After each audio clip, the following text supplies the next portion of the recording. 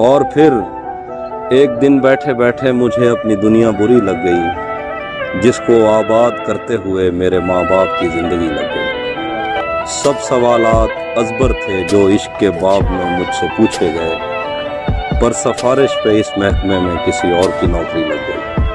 क्या करूँ, उसकी आँखों के आगे अंधेरा नहीं देख सकता था मैं। आप कहते रहे कि गलत आदमी पर मेरी रोशनी लग गई। इससे पहले कि मैं उससे मुँह फेर लेता, उसे खुद ख्याल आ गया। मैंने चैनल बदलने का सोचा ही था कि सनम मारवी